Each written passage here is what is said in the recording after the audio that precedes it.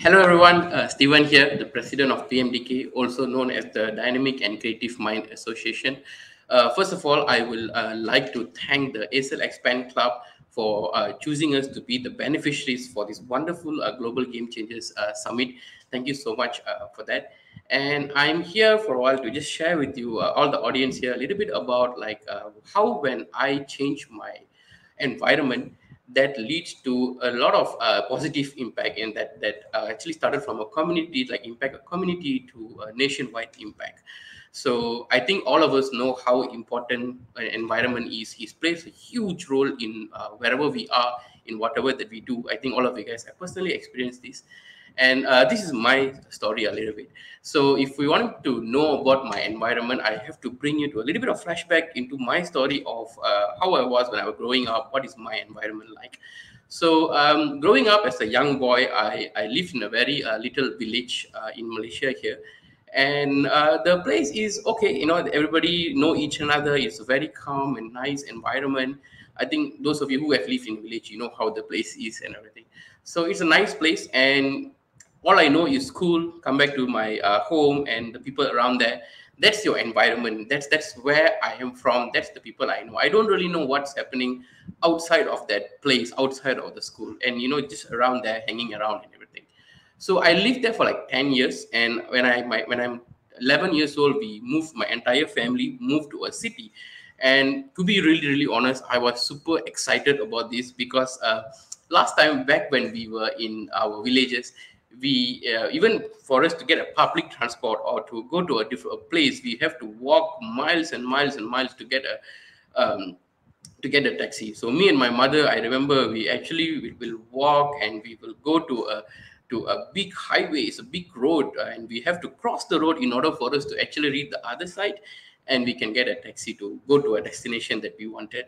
So uh, that that's our life before that. But now living in that city area uh, it's a huge difference because the public transportation will come right to your doorstep. And whatever that we need from grocery stores to clinic to hospitals to malls to theaters everything is just around there in walking distance. And i was super excited. Even my school is walking distance.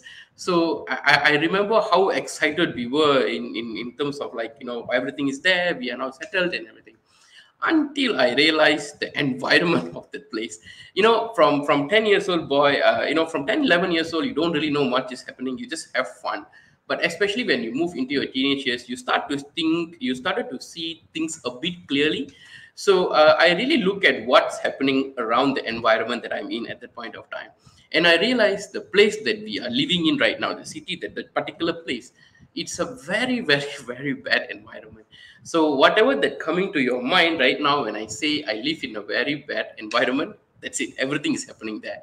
And imagine I'm a teenager who is like 14, 15 uh, years old there, and you are living in that kind of environment. And again, we all know how important uh, environment is, is influence you. And hear me, a naive boy who is just hanging around there in my, my friends and everything uh, and it's very easy for us to get influenced into this kind of environment because it look flashy it look amazing you know, they have bikes they have cars a lot of good things is happening there they make money and it looked like a very big thing for you at that kind of age and you wanted that i, I wanted that. But i for me right at that point of time for some reason i was thinking maybe that's not the right way to do it and living in that kind of environment there is only two options for me that was available right in front of me. One is either I go into the negative things, involved in there, do whatever that I'm doing there and everything. Or second is to actually study better and make my name out of it, like, you know, study better, score a better result, go out there, graduate, get a job, build your dream house, get a car, get married, build a family, all these things. So obviously, I choose the option B, which is to study well and do something about it. So studying is not really a big deal for me. I, I can actually score well. I don't know why. Even though I don't study much, I can score really well. So I go on to graduate uh, from a college. I, I, I, graduate in Bachelor of Commerce in a wonderful college uh, in accounting field actually because I fell in love with accounting when I was in my uh, secondary school, which is high school. And I went out to pursue it into my, uh, my degree and everything. So it's a huge deal in my family and also in the neighborhood because none of uh, none of nobody in my family actually have graduated before. So it's like a huge deal and even in the environment also is a huge deal. Oh my god a boy from this base actually graduated and stuff. So after i graduated i went on to uh, you know when you were studying and graduating and everything i built a dream about like you know you're getting a good job you're studying you know you are you have your own office you're in your own cubicle you know you are in the best company in the world doing amazing things all these things right so actually i uh, get to taste a little bit of that through my internship in during my college years so when i went to the internship in one of the biggest company in the world in the accounting field and i went to about three months of internship I realized that is not what I want. This is not who I am. I cannot survive in this. I need something else. I am a very extroverted person. I love to talk to people. This is not who I am. And that's when when I come out from the internship, I started to really feel very depressed. I don't know what else to do because imagine this: you have a goal, you have a dream, and this is what you have been telling yourself, "I want to do this, I want to do that," and everything, right? And once you almost achieve it, you are there. You realize that's not what you want how do you feel so that's that's how i felt like i don't know what else to do i don't know where am i going i don't know what is the next step. And imagine living in that kind of environment in the situation that i'm in right now. Again is super duper easy to influence in that kind of environment. So i was i was almost there and that's when i decided to go and meet one of my tuition sir. He's a very interesting man. I really like this guy a lot. So we went to just met him and to get some advice to see what we can do. And when he need when he understand that I needed help, he said, "Okay, let me bring you to this wonderful environment that I'm part of. Let's see whether you like it." So that's when I actually met this beautiful platform called ET Ideas, a social business incubator platform back in here in Malaysia, and also Ascendance, an international youth movement as well. So when I met these wonderful people, right, uh, I instantly fell in love with the environment because this is something that I never experienced before. Like when I was in my village, I just, you know, kampong, a village boy, don't know what else am I doing. And when I'm in, in the different environment, move to a city, the environment there is totally different. And but this environment that they have is something so addictive, like addictive, like um, you know, everybody there is happy. They are doing what they love to do as their passion, as their career, uh, you know, as their business I'm, I'm just very stunned how happy they can be. They, they all are very happy doing what they love to do. And I want something like that for myself. I, I want that to be my environment. So because of that, I will do whatever that I can to be in that environment. I go to my college and even I will just check with them where they are working. I will just go there, be with them. Even though I have nothing to do there, I will just go and sit with them because I really wanted to be in that environment to change myself. And and I really engaged their services. I, I, I went inside there. I tried to figure out my passion, and I have did a lot of funny stuff to actually figure out my passion. Like uh, I, I did emceeing because I love talking to people, and uh, I love playing chess, and I even tried teaching kids how to play chess. I love eating cookies. So I tried baking and I tried meeting a lot of people. I did so many things uh, to figure out my passion. And at the end, I actually did figure out my passion with the guidance and support from this particular environment. And to be really honest, I, I, at, at one point of time, I made it. I become, I figured out that I, I like marketing and sales, and I built my career over there. And I become really good at marketing and sales, and I started to teach people on how they can improve their marketing, improve their sales, and I was really happy doing that. But for when I look back at my environment and my story, right, I'm even though I'm from a bad environment, I don't know what am I doing and stuff like that. I'm actually pretty lucky because I met the right people at the right at the right time when I needed the help. Like for example, the tuition when I need the example, and I think I'm showing you the two pictures. The first picture is one of my sponsor who are there since I was 12 years old to give me some advices. He's one of the main person that stopped me from going and involving in this kind of environment. And then I met my wonderful uh, mentors, Ms. Walsla and Ilanko and ET Ideas people. Everybody have guided me to do something about it. But this is not the case for a lot of youngsters out there. Many people out there, they don't know, like many youngsters out there, they don't know that they can do a lot of things. They don't know they can follow their passion. They don't know they can build their career out of it and uh, they're just clueless especially people who live in village or rural areas. They don't have access to this kind of place. And that's when i decided to go and tell about this platform that we have the things that we can they can do to every single one of them. I i remember i was i stopped random people. I will tell them about the story.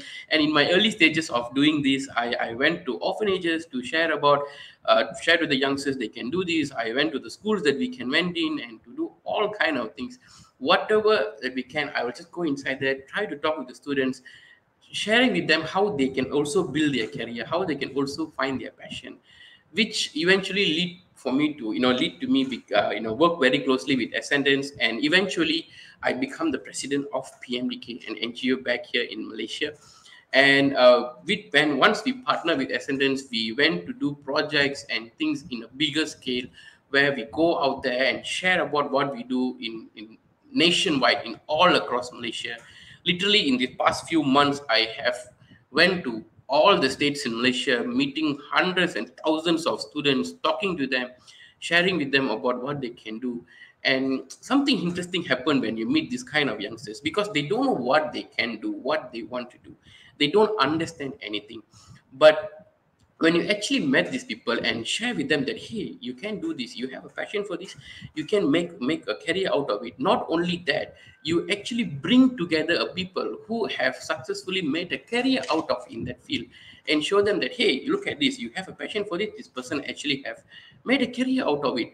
You need to see the sparkle in their eyes when you when you share them share that with them like they will be so happy because uh, all the while they don't know they can do many things. But now we coming here and telling them hey you can follow your passion you can build a career out of it. They have they have the belief. But then when they see another youngsters who have successfully made that into a career they strongly believe that they also can do that. And they go out there start taking the actions. And because of that we have been going all across malaysia meeting wonderful students and also wonderful teachers. When we uh, it's one of the best thing that happened to me in these uh, past few months is going out there and meeting wonderful teachers who are just there doing amazing things for the uh, students. They don't care if they have extra jobs. They don't care if uh, anything happens. They just wanted to impact the students. That's all they think about.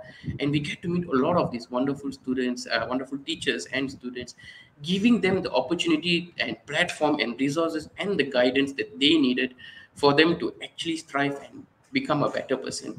So this is a little bit about my story on how, as you can see, this is not possible if I didn't change my environment. Uh, I didn't started to look at the different things that I want to do in my life. And I think my mentors uh, told me this once: you are not a tree. You can actually move around and find a different place.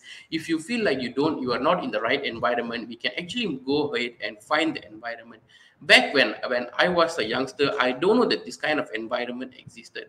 But good thing that happened to me is again i met the right type of people and at the right amount of time and they guided me in what i can do in uh, in figuring out my passion. So this is what we are trying to give to the students uh, to everybody out there. That is why I, when i changed my environment when i look back at it it started from a small community wide impact now it's becoming a nationwide impact, and the goal for PMDK is to go international, meet students from all across the world, and change everyone, share with them that they can do wonders, and help them to do it.